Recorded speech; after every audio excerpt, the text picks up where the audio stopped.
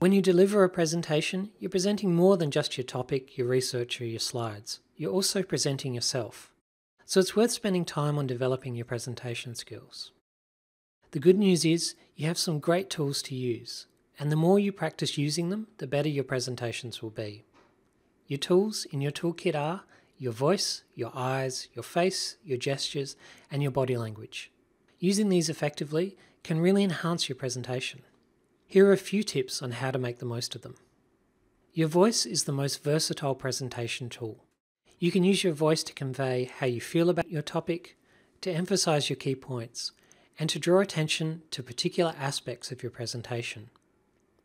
You can also create an impact by varying your volume. Lowering the volume of your voice can convey the seriousness of a point or situation, while placing a louder emphasis on your key points will draw your audience's attention to them.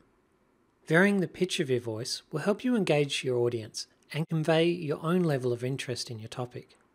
Speaking in a monotone will imply that you're bored with your topic, as well as making your presentation boring for your audience. Your audience will want to hear every word of your presentation, so pronounce your words clearly and try not to let your voice trail away at the end of words or sentences. Make your consonants like T crisp and clear.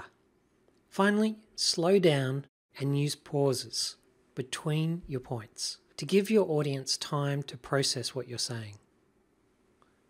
Making eye contact with your audience is the best way to build rapport with them and keep them interested in what you have to say. Aim to include everybody by keeping your gaze moving around the room.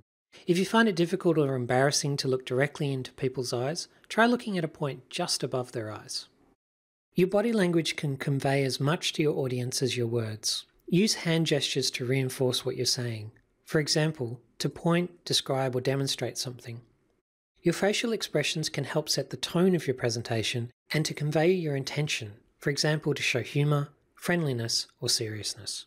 If you're able to move around while giving your presentation, in other words, if you're not positioned behind a lectern with a fixed microphone, you can use the speaking area to move with purpose. Moving from one place to another can be used to illustrate a timeline, to indicate a change of subject, or to mark your progression from point A to point B. The more you practice using your voice, your eyes, your face, your gestures, and your body language, the better you'll become at communicating your ideas to your audience.